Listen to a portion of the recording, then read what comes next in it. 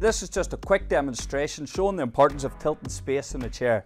So when we're sitting like this in an upright position, about 75% of the weight is going through the seat, putting the weight through some of the high risk areas like the sacrum and the ITs.